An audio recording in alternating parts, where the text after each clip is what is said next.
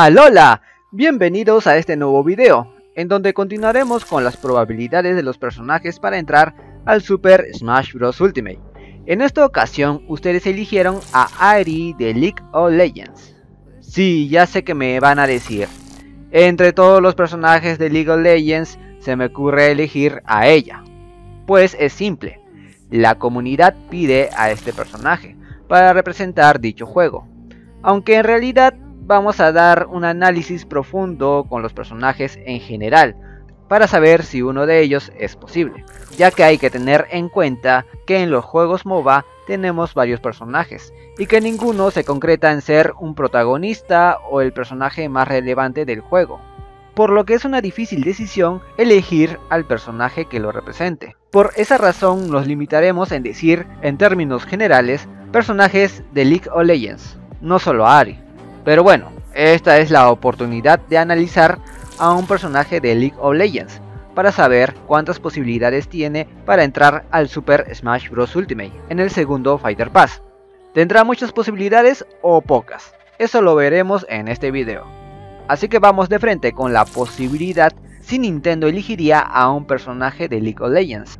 Bien, League of Legends se podría decir que es una saga y que no solo depende de su juego principal, ya que el único juego influyente fue el mismo League of Legends, ya que como sabemos, no se centra en secuelas, sino en actualizaciones. Sin embargo, ya se habían anunciado algunos juegos spin-off de esta misma, aunque también se anunciaron dos juegos basados en League of Legends, una que es una versión móvil llamado League of Legends Will Rift y que aún no ha salido, y el otro que es un juego de cartas llamado League of Runeterra, que este se ha salido recientemente. Pero hablando más en concreto de League of Legends Will Rift, prácticamente toma todo lo bueno de League of Legends, con funcionalidades un poco más simplificadas para adaptarse a los celulares, y esto será importante para lo que diré un poco más tarde. Sin embargo, no hubo una secuela del juego de PC, sino puras actualizaciones, por lo que en parte solo se sostiene por este mismo. Aunque bueno, eso poco importa, porque el videojuego es un éxito rotundo en todo el mundo, siendo hasta el día de hoy un videojuego muy proclamado en varias redes sociales y jugado por millones de personas. Incluso sus torneos son los más importantes en el mundo de los videojuegos. Realmente tener una franquicia así en uno de los mayores crossovers de Nintendo, pues es una propuesta muy tentativa, y conociendo su gran base de seguidores, generaría más ventas a la Nintendo Switch y más ventas para el Super Smash Bros. Ultimate, por lo que Nintendo podría darle una gran oportunidad.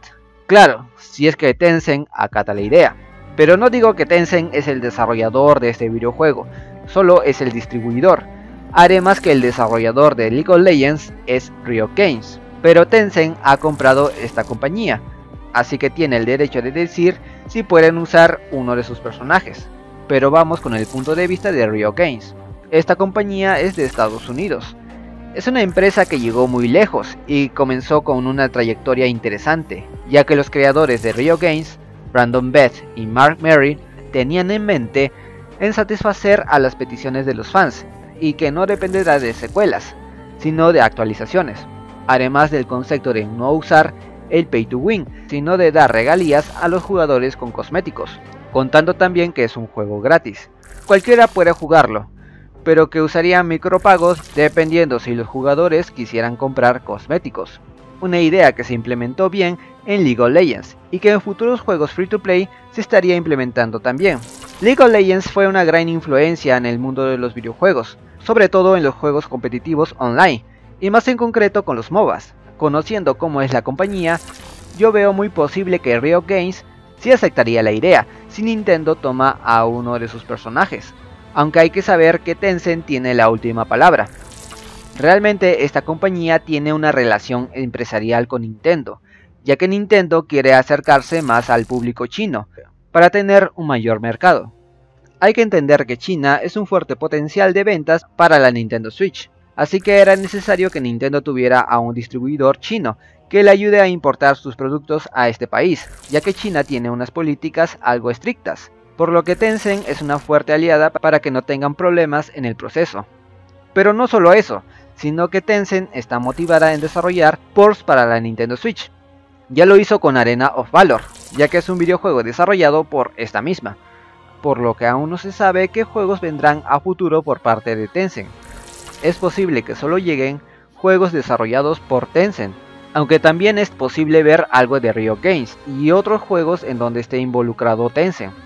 Sabemos perfectamente que League of Legends no ha pisado ninguna consola de Nintendo, inclusive no pisó en otras consolas, solo en PC. Sin embargo, si hay algo de League of Legends en Switch, entonces podría ser una posibilidad.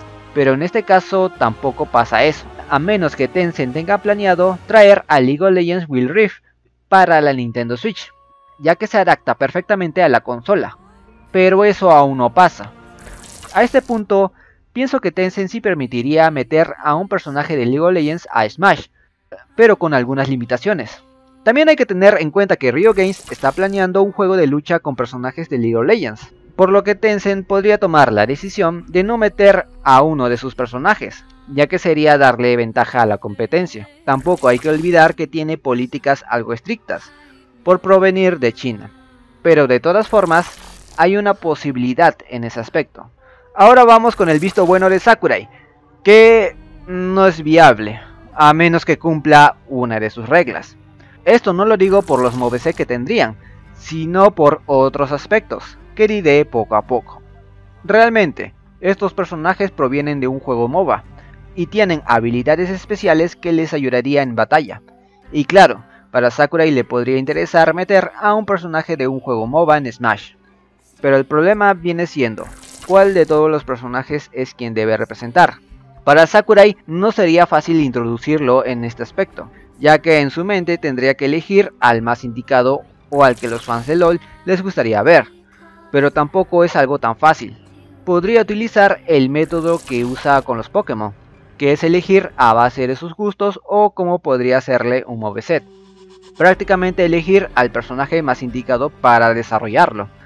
Sí, sé que en este video estaba dirigido para Ari, pero realmente lo puse solo por ser un personaje que está siendo muy solicitado. La verdad es que para Sakurai le es difícil escoger entre todos de ellos el más indicado. Pero digamos que elige a Ari, ¿qué movimientos podría tener? Realmente tiene unos movimientos simultáneos y es una maga. Se puede hacer un gran juego de movimientos. El B principal usaría el orbe de engaño, que sería lanzar una bola mágica que volvería a ella y haciendo daño al rival en el proceso. Su B lateral usaría encanto, que es un hechizo que bajaría un poco la velocidad del adversario. El B arriba usaría el desplazamiento que le otorga el impulso espiritual, aunque sin lanzar hechizos. Su B abajo usaría su fuego zorruno, que son llamas que se quedan alrededor de Adi, y los lanza a los enemigos que sufrieron un daño mágico por parte de ella misma. Y su smash final sería el impulso espiritual, que es el ataque definitivo del personaje. Ari se impulsaría al objetivo y lanzaría rayos de energía a los contrincantes. Y ese podría ser el moveset de ese personaje. Realmente no sé mucho de LOL, por ello hice lo mejor que pude. Si tienen otra alternativa para su moveset, pueden dejarlo en la caja de comentarios. Y el universo de League of Legends se adaptaría bien en Smash, ya que tiene una esencia similar a Warcraft, pero con toques más de anime, si es que lo podría decir así. Aunque hay que tener en cuenta que Ari es un personaje que revela algo de su cuerpo, por lo que eso sí complica su inclusión. Pero como no es la única alternativa, existen varios de ellos, aunque Ari no será la elegida por este impedimento. En conclusión, un personaje de League of Legends no es posible que esté en Smash, es una franquicia muy popular e inclusive hasta nuestros días sigue estando en el top número 1. Eso nadie lo va a negar. Además que atraería ventas a Nintendo y a Tencent. Pero hay que ser francos, la franquicia no ha pisado una consola de Nintendo. Y claro, algunos dirán que es una regla inventada, pero el mismo Masahiro Sakurai lo dice. Y no solamente él lo menciona, sino que el mismo director de Devil May Cry mencionó que Dante no podía estar en el Fighter Pass, porque su franquicia no pisó en Nintendo. Y no me digan que Joker y Clown no pisaron en Nintendo antes, cuando Joker con la saga Persona sí pisó en Nintendo, con Persona Q2. Final Fantasy sí pisó en Nintendo en varias ocasiones, es casi un emblema de la NES, pero Cloud sí pisó en Nintendo como cameo en Kingdom Hearts, Chains of Memories, para la Game Boy Advance. Para Sakurai eso es suficiente. Eh, bueno, él mismo lo mencionó. Pero en el dado caso de que Tencent publique el League of Legends Real Rift en Nintendo Switch, entonces le daría una oportunidad a League of Legends, por lo que su posibilidad, si es que llega a este juego en Switch, es de un 60%. Sin embargo, es evidente que sus posibilidades para estar en Smash en la actualidad es de un 0%. Claro, no me refiero a Ari, sino a otros personajes de League of Legends. Sus puntos positivos, pues Nintendo le podría interesar en meter esta franquicia tan grande en Smash, ya que traería muchos beneficios a Nintendo. Rio Games apoyaría la inclusión, su universo entraría bien en Smash. Los moveset no son un problema para estos personajes, pero sus puntos negativos serían que Tencent podría limitar las cosas si es que Nintendo está interesada, e inclusive puede restringirlo, ya que hay un juego de lucha de League of Legends en camino. League of Legends no pisó en una consola de Nintendo. Es una regla importante de Sakurai que hasta el día de hoy se respeta, por la cual le baja varias posibilidades, además que complicaría a Sakurai en elegir a un personaje que represente la saga. Y obviamente que Ari no sería la elegida por tener el caso de Mei Shirinai, League of Legends tiene un gran potencial. Realmente no me molestaría ver a un personaje de un juego MOBA.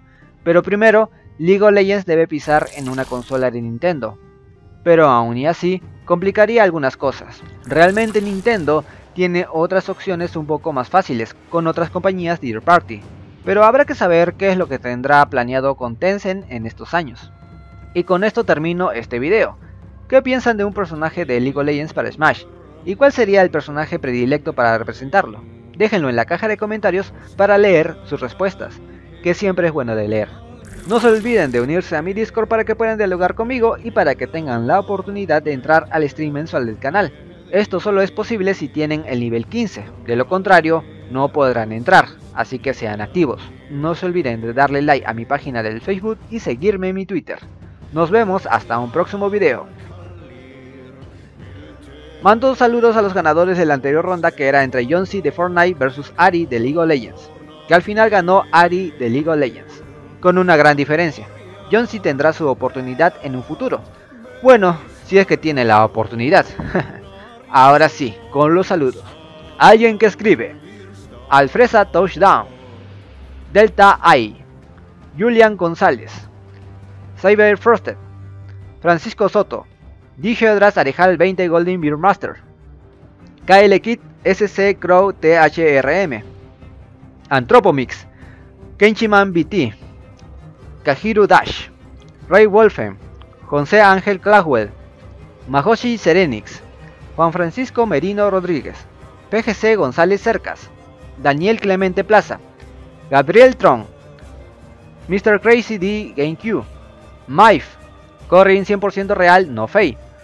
Jorge Ochara, By3 SPZ Gamer y Daniel Noriega Salazar.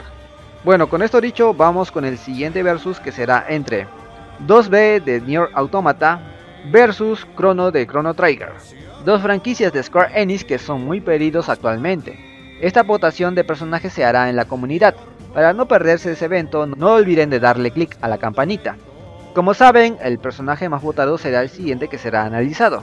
Los ganadores tendrán un saludo de parte mía. Eso sí, no se olviden de comentar en dicho mensaje por quienes votaron para que sea válido, ya que la mayoría no me comentó por quienes votaron, por ello solo tomé a los que sí lo hicieron. Así que si quieren un saludo de parte mía, no se olviden. Con esto dicho, me retiro. Nos vemos, bye bye.